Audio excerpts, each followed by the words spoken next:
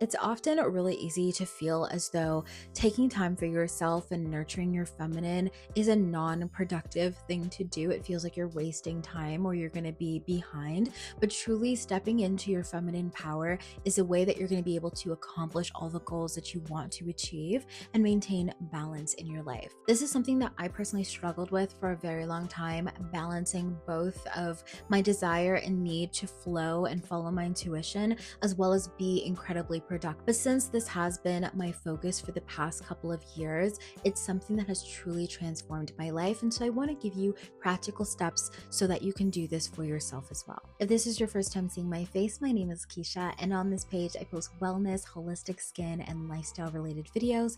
If that is something that you're interested in, then make sure you are subscribed. And without further ado, let's get started.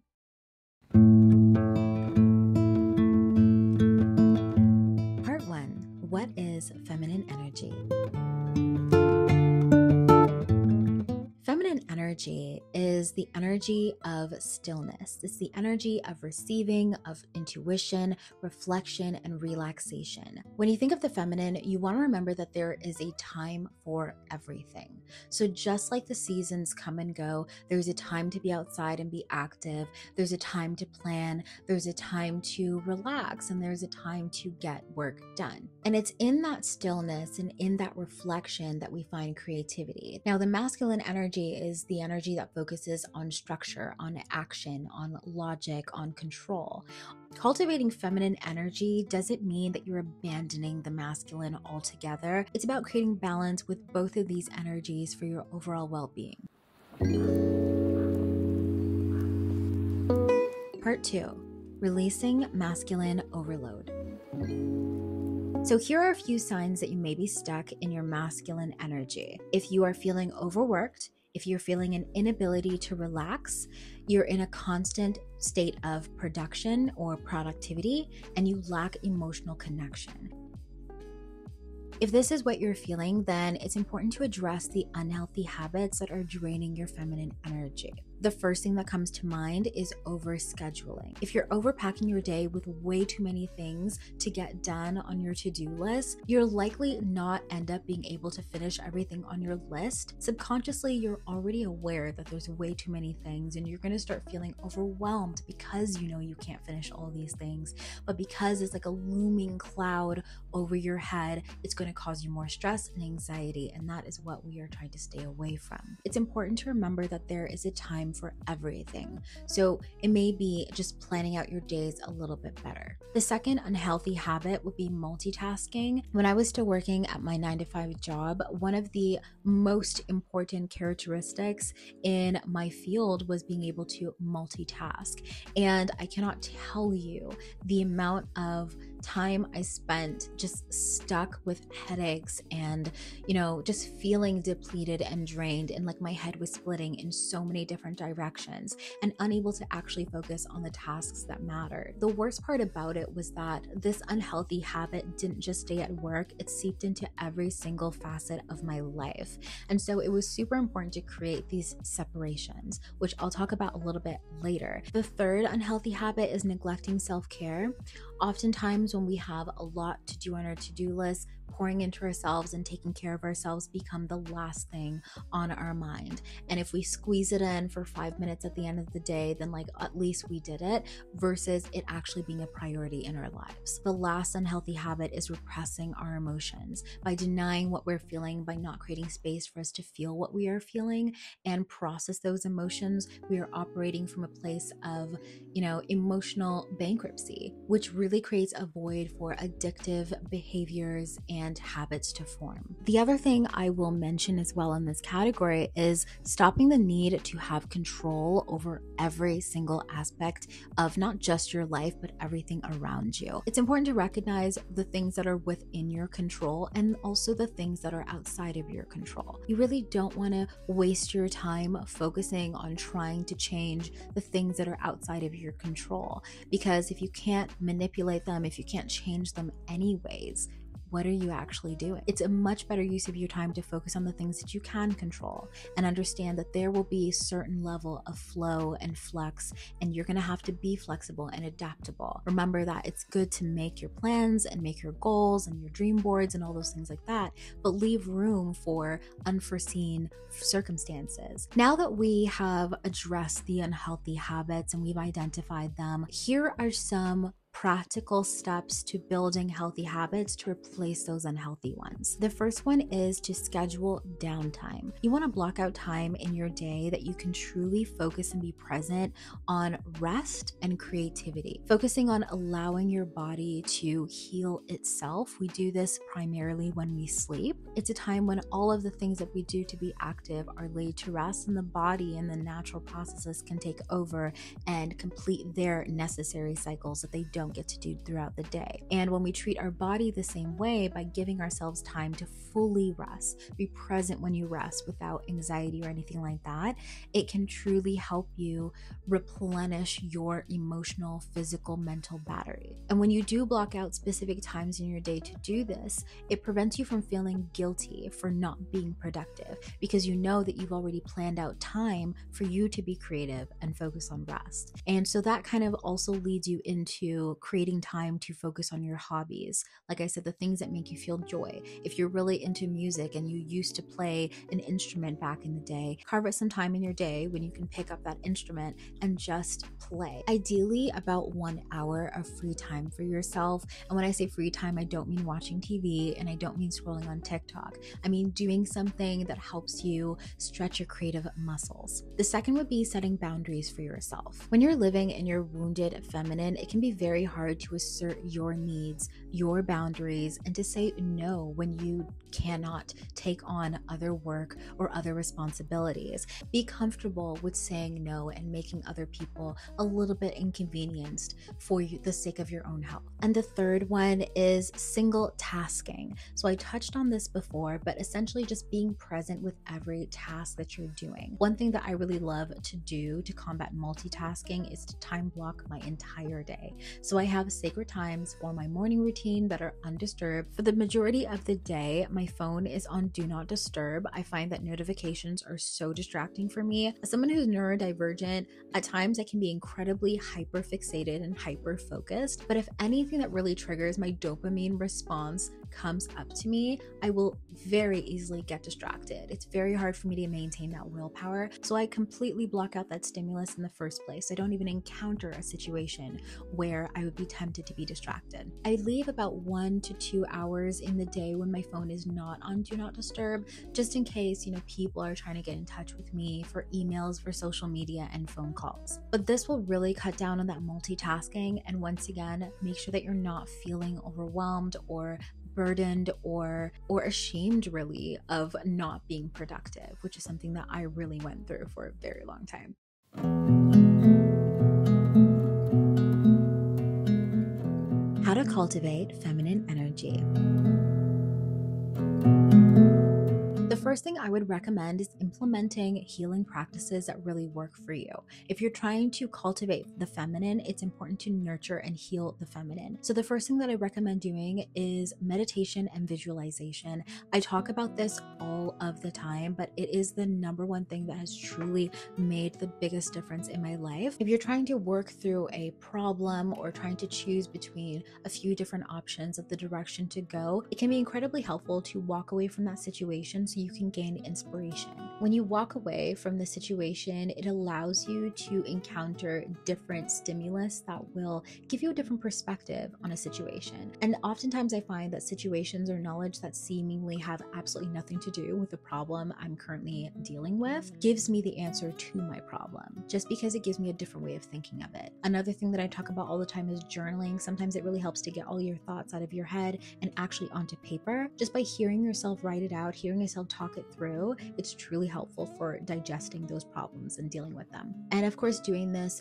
without any judgment. Don't judge the thoughts that are coming out of your mind. Rather, be curious about the thoughts and the questions that are coming out of your mind. Ask yourself where they came from, if they're helping you in this situation, or if they're pulling you back. And if they are, what can you do differently instead? And the third key and the third healing practice involves healing your body from the inside out. I'm a huge tea lover. I'm someone who really loves herbs. I'm currently learning about 友 botany and herbalism. I love using natural herbal remedies to help me throughout the day, whether it's I need to feel more energized, whether it's I need to regulate my cortisol, detox my body, or calm myself down. There is a herb for everything. So I'd recommend researching a few different teas that you love using. A really simple and accessible one is chamomile that really helps to calm you down. And if you need something that will give you more energy, peppermint is a good option there too. The next thing I'd recommend doing is finding different ways to connect with your body. The feminine is all about feeling, it's about pleasure, it's about sensation.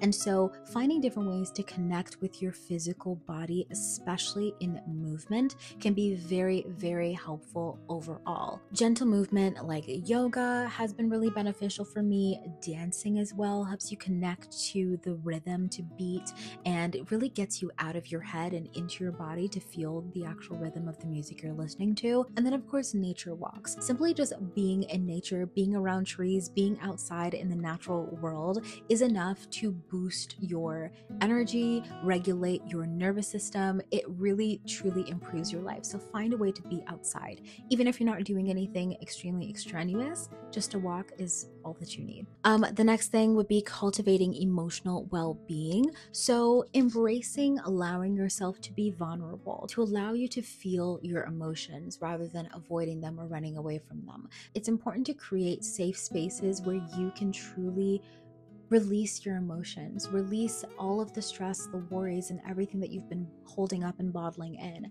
For a very long time, I was holding in a lot of those emotions and being, once again, ashamed and embarrassed of not having the tools that I needed to understand them or not even having the time itself to understand them. It was until I saw these physical ailments start to appear in my body that I actually did something about it. For me, this manifested as various cysts throughout my body and it can manifest for different people in different ways as well. So, something to take note of if you are feeling dis ease in your body, it is likely because of an emotional trauma, an emotional connection, something that you're not feeling, you're not processing, or releasing. I want to say at least three or four years ago, every single day while driving home from work, I had a cold crying session in my car.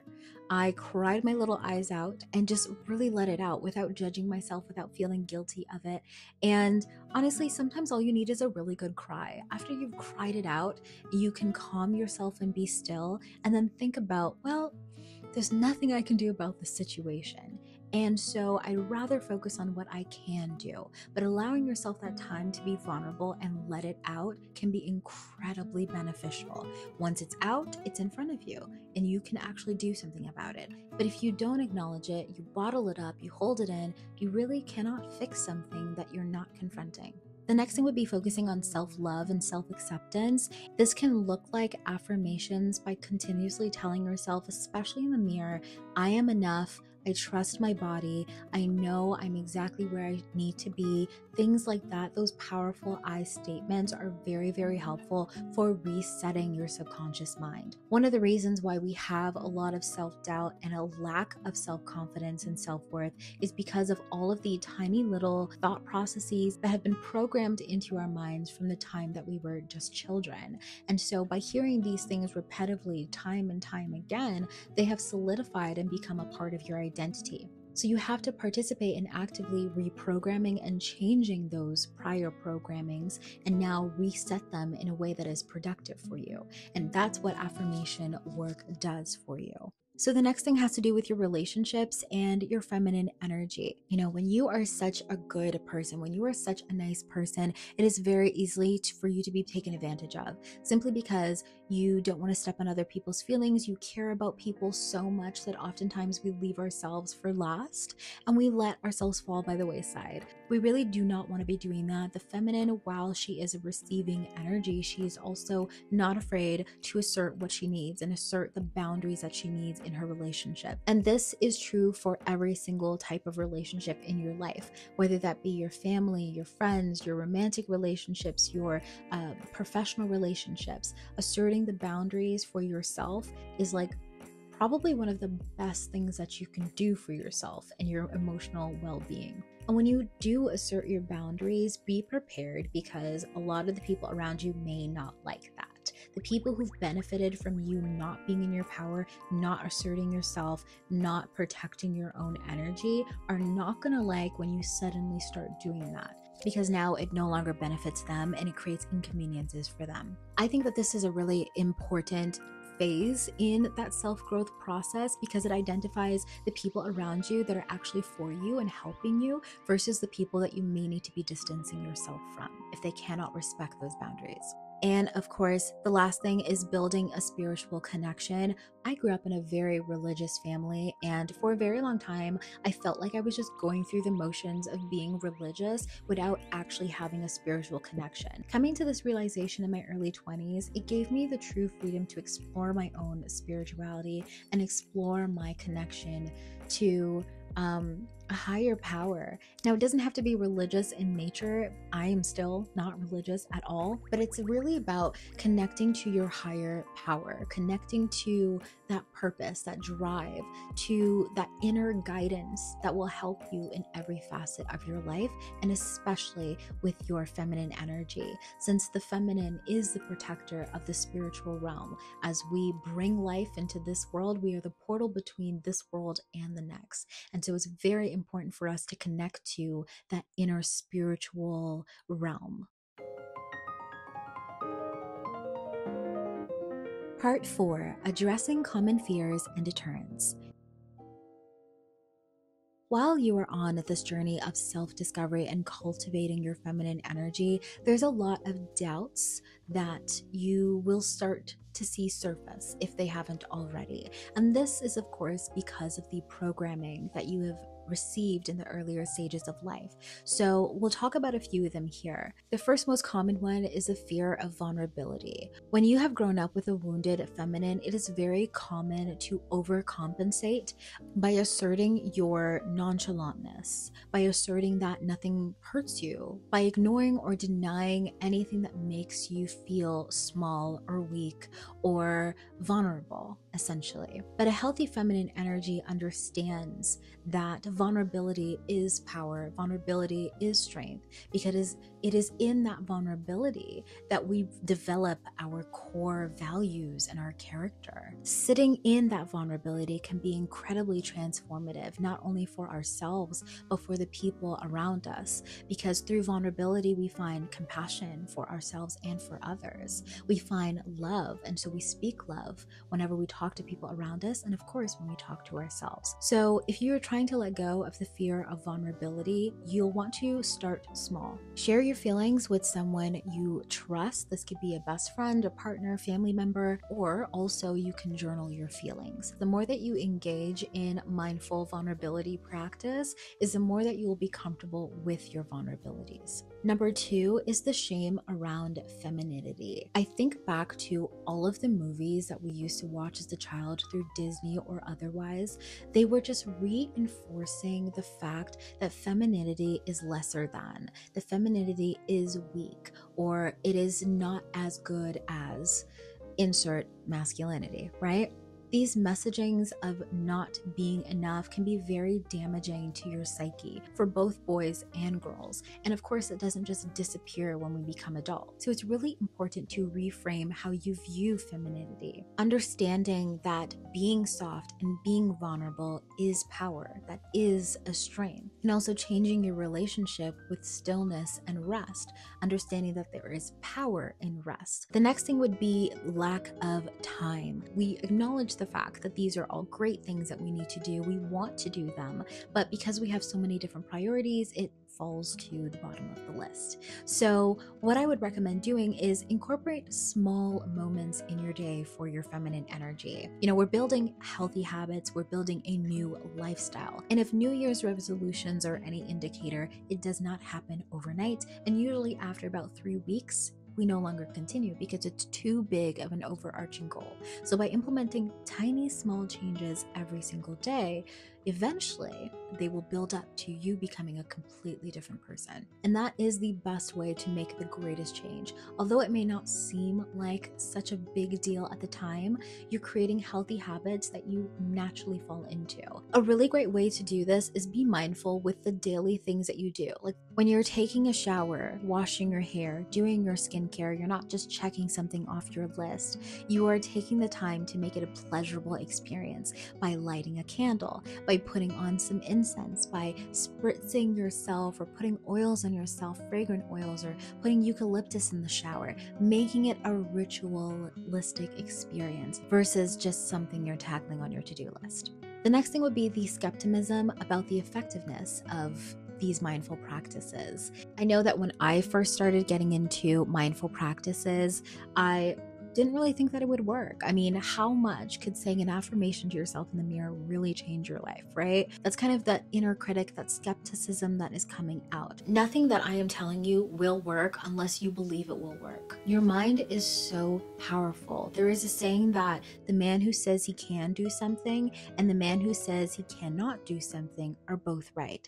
Literally, because you are telling yourself it is so, it becomes so. So embrace the experimentation process process. Rather than shutting an idea down before you've even opened the book, practice being curious about these new systems, why they were developed how what is the science behind why it changes the more that you become inquisitive and enjoy the process of experimentation is the more that it will become real to you. Understanding that healing isn't an instant result situation, it's about feeling just a little bit more connected day to day. And the last one is the fear of this identity shift. So, oftentimes we hold on so fervently to this idea or persona or lifestyle that we've created for ourselves simply because it's all that we know. And when you are changing yourself into a different person, you'll find that there's a lot of things that you need to let go of. Although you know that it's good for you to let go of, it's the only thing you know, and you find comfort in that.